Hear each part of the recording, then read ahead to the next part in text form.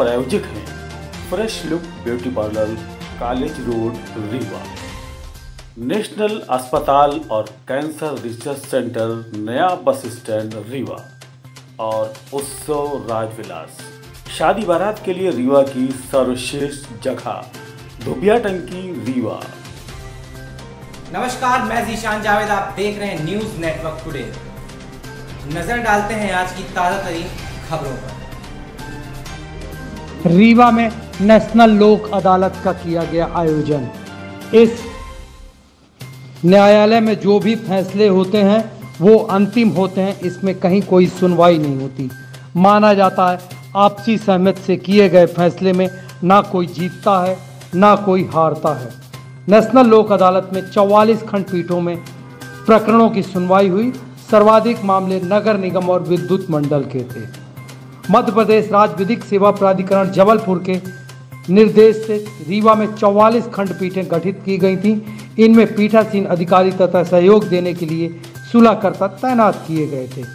इनके अलावा सिरमौर त्योथर मऊगंज, हनमना में भी लोक अदालत का आयोजन किया गया। रीवा जिला न्यायालय में उनतीस पीठ, तहसील विधिक सेवा समिति मऊगंज में पाँच खंडपीठ, सिरमौर में पाँच खंडपीठ त्योथर में तीन खंडपीठ तहसील विधिक सेवा समिति हनमना में दो खंडपीठ गठित की गई थी। लोक अदालत के दीवानी फौजदारी पारिवारिक विवाद, मोटर दुर्घटना क्षतिपूर्ति, एक सौ अड़तीस चेक बाउंस, विद्युत श्रम, भू अर्जन, नगर पालिका निगम, प्री लिटिगेशन प्रकरण निराकरण के लिए रखे गए थे। ज़्यादातर मामले आपसी सुलह से निपटा लिए गए।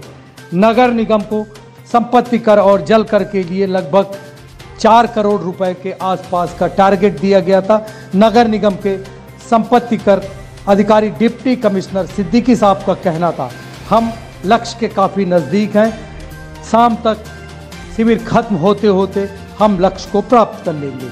आइए आपको सुनाते हैं नगर निगम के डिप्टी कमिश्नर संपत्ति कर अधिकारी एम सिद्दीकी साहब ने क्या कुछ बताया, आप भी सुनिए। 9 दिसंबर 2023 को ये लोक अदालत का आयोजन किया गया है। इसमें माननीय कमिश्नर महोदय और हमारे शैलेश सिंगलारी प्रभारी महोदय के निर्देशन निर्देशानुसार हम लोग संपत्ति कर जल कर का वसूली कर रहे हैं।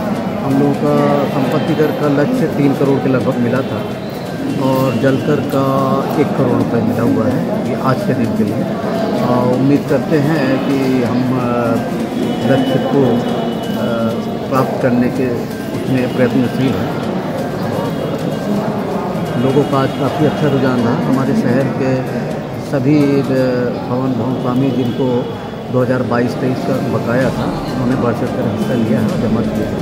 और आज का लोक अदालत भी काफ़ी सफल माना ताज़ा तरीन खबरों से जुड़े रहने के लिए चैनल को सब्सक्राइब करिए और बेल आइकन दबाइए और देखते रहिए न्यूज़ नेटवर्क टुडे।